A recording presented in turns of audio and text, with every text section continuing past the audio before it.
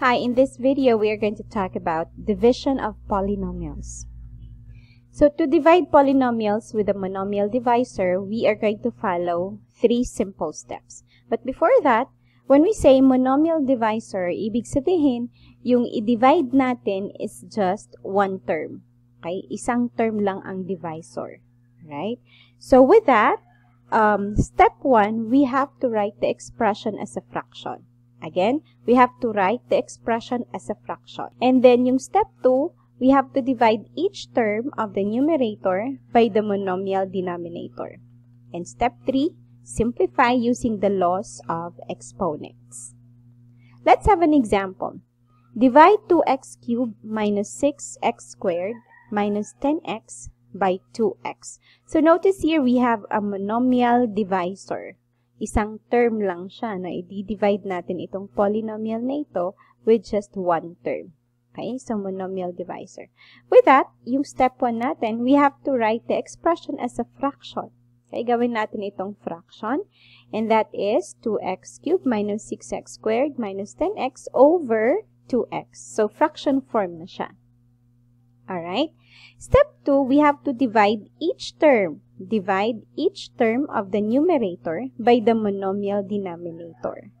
Okay, paano yan? So, this is equal to 2x cubed over 2x minus 6x squared over 2x minus 10x over 2x. Ano ba ito? So, isa-isa yung mga terms ng numerator, dinivide natin sa denominator. So, isa-isa sila, no? That's 2x cubed divided by 2x. Okay? Yung minus dito galing dito sa negative 6x squared. Yung sa negative. Okay? So, that's 6x squared over 2x. Again, yung minus dito galing dito sa negative 10x. So, kung positive yan, magiging plus ito. Alright? Um, 10x over 2x. So, after that, we need to simplify using the laws of exponents. So, apply na natin yung laws of exponents. Ano? So that is equal to, we have here 2 divided by 2, of course that's 1. Okay, so or cancel out na yan, ano? So wala na siya dito, diba? So that's just 1. 2 divided by 2 is 1. So 1 times x cubed. Oh, that's just x cubed, diba? So common yung, uh, common ang base natin na x, so that's x. And then 3 minus 1. Remember, laws of exponents for division, magma-minus tayo ng ng exponents. Okay? Um, only for those with common bases. So, ang common base natin dito is x. So, that's x raised to 3 minus 1. Bakit 1? Kasi, di ba, itong x dito, considered yan na may 1 na exponent, di ba? So, that's 3 minus 1. Then, negative. 6 divided by 2 is 3. Okay? So, 6 divided by 2 is 3. Right? Kaya we have here 3.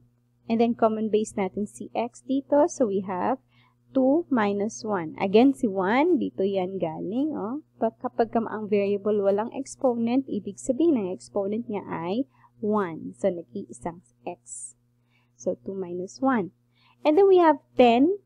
Uh, minus yan. So, minus. So, 10 divided by 2. So, magiging 5. Kaya here we have 5. x divided by x, so wala na rin, ano? So, it's just x raised to 1 minus 1. Okay, 1 minus 1, that's 0. Okay. So, that's 0. So, we have here 5. So, 5 na lang ang naiwan. So, simplifying that, we have 3 minus 1 is 2. Diba? 3 minus 1 is 2. So, we have x squared minus 3x. Bakit x na lang? Kasi 2 minus 1 is 1. So, hindi na natin ilalagay yung 1 dito ha. That's considered as 1, yung exponent. Kapag ang variable walang exponent, it's considered 1. Okay. Kapag 1 naman ang exponent ng output, hindi na nilalagay yan sa final answer. Right, so, minus 5. So, our answer is x squared minus 3x minus 5. Right, to divide polynomials with a binomial divisor, eto na, binomial divisor. Ibig sabihin, yung i-divide natin, yung divisor natin, dalawang terms. Okay. We are going to use the long division. Okay, gagamit tayo ng long division. Yung long division naman, no, pareho lang siya nung sa uh, when we do division in arithmetic, ano, um, yung sa mga whole numbers. Okay? So, we are going to follow these four steps. Ano, ino, ano, ano mga ito? So, first, we have to divide the first term, only the first term of the dividend by the first term of the divisor. Tandaan yan. Again, we have to divide the first term of the dividend by the by the first term of the divisor to obtain the first term of the quotient. Okay, step 2, we are going to multiply. So, the same process lang siya ng um, long division ng whole numbers. So, first we divide, then we multiply. Uh, we divide, then we multiply, and then we subtract. And after that, we just have to repeat the steps. Okay. So, let's have an example divide 6x squared plus x minus 12 by 2x plus 3. So, notice here we have a binomial divisor. Dalawang terms yung divisor natin. Okay, so, in this case, we are going to use long division method. So, step 1 natin, divide the first term of the dividend by the first term of the divisor to obtain the first term of the quotient. So, sulat muna natin siya na for long division. Um, it looks like this one. So that's 6x squared plus x minus 12 divided by 2x plus 3. So yung step 1, divide only the first term of the dividend by the first term of the divisor. So ibig sabihin yung 6x squared, i-divide natin sa 2x. Okay? And we will get the first term of the quotient. So yung first term ng quotient, dito natin siya ilalagay sa taas. Right? So, scratch paper muna tayo. Let's say this is our scratch paper. Okay, scratch paper natin yan. So, we have 6x squared divided by 2x. So, 6 divided by 2 is 3, di ba? And we have a common base x. So, 2 minus 1 is 1. So, that's 3x raised to 1, hindi na ilalagay. So, 3x ang sagot, ano? 3x. So, si 3x, ilalagay natin siya sa taas. In such a way na um, naka-align siya dun sa kapareho niya ng exponent. No? So, we have here, hindi natin siya ilalagay dito kasi square ito eh. Squared yan. So, this one, yung x kapareho niya. So, dito na ilalagay si 3x. Ayan. Okay? So, yung uh, sa long division nyo, dapat naka-align lahat yung kapareho ng exponent, ano? Kapareho long, yung like terms. Okay? Naka-like terms yung naka-align sila. Okay.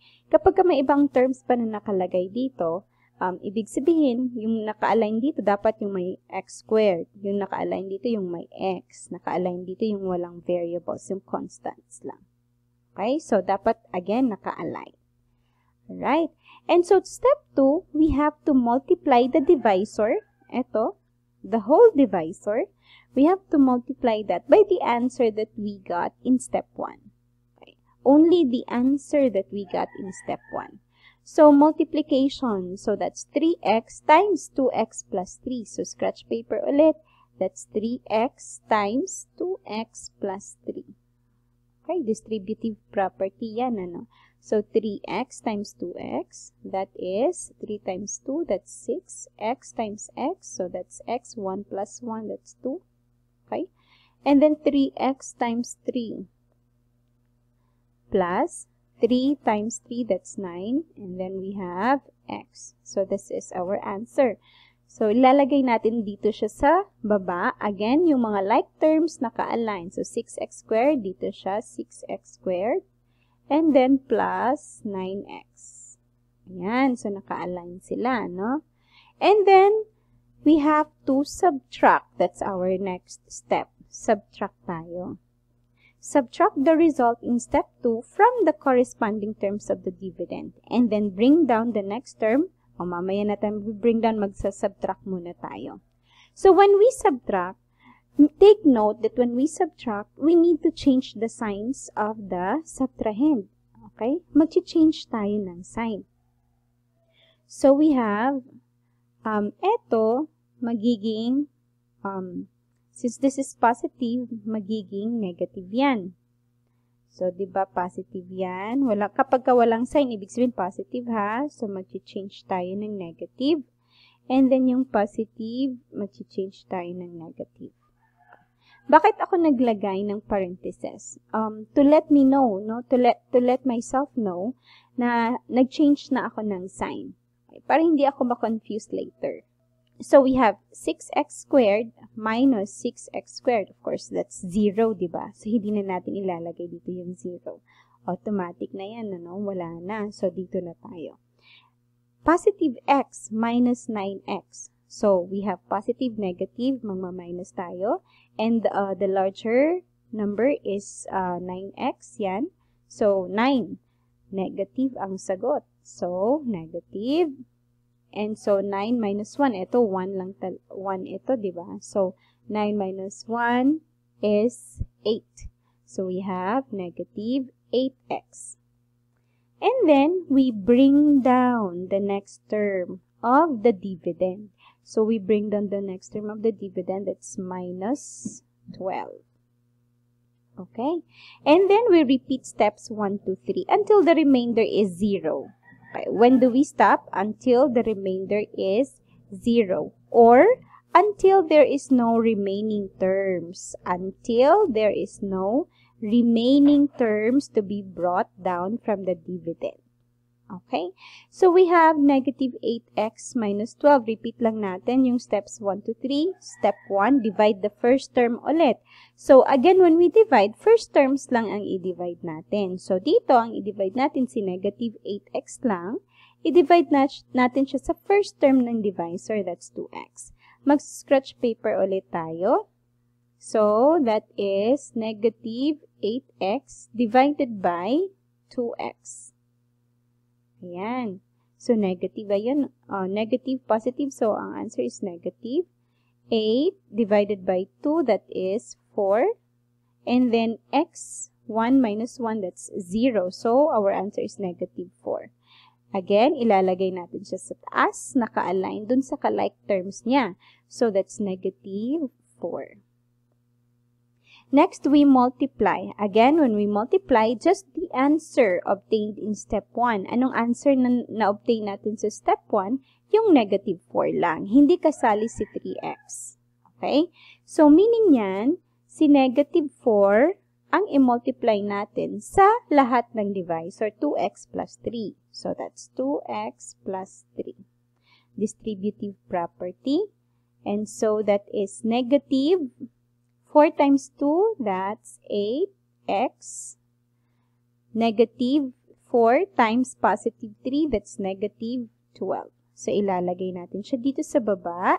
Negative 8x minus 12. And so, again, we subtract. When we subtract, we need to change the signs of the subtrahend. Ano? So, itong negative magiging positive. Itong negative magiging positive. Okay, tandaan lang, ano, uh, tandaan lang kapag pareho sila talaga no, ng numbers at saka ng variables and uh, opposite ng signs, the answer is 0. Ha? So, we have negative 8x plus 8x, that's 0. Negative 12 plus 12, that's also 0. So, meaning our answer is 0. So, we are going to stop here kasi andito na tayo. The remainder is 0. Yung natira, 0 na. So, meaning, eto na yung sagot natin. Okay? So, we have 3x minus 4. 3x minus 4.